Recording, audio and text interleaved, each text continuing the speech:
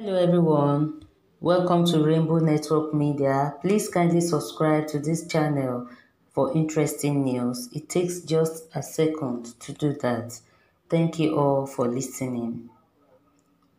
Minister of Transportation Rotimi Amaechi has said that 60 Lagos-Ibadan Railway Project workers have contracted the deadly coronavirus diseases. The minister, who made this known during an interview with newsmen, said the railway project would have been inaugurated in the first week of January if not for the upsurge in the second wave. According to him, it was important to reschedule the proposed January 2021 inauguration date even though no life has been lost. First, let us admit that over 60 of our staff, not Ministry of Transportation staff, but the staff working on the rail project have been infected by the virus. Luckily, nobody has died, and I pray nobody will die. But you see, the kind of sacrifice everybody is making to get the rail to function. As far as we are concerned, we need to learn how to live with this infection and try as much as possible to keep ourselves protected, he said.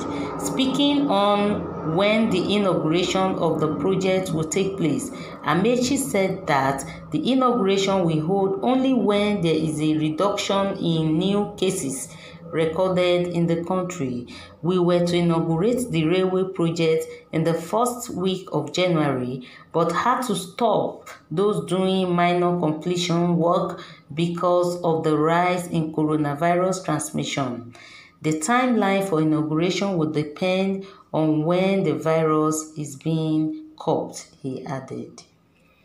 My own view on this uh, news is to let everybody know that uh, this coronavirus deadly disease has has to be uh, we have to take caution over it to in order to curb the spread so we should all, always uh, do the needful by uh, sanitizing our hands using our nose masks social distancing and other aid that is available to help to curb this deadly virus.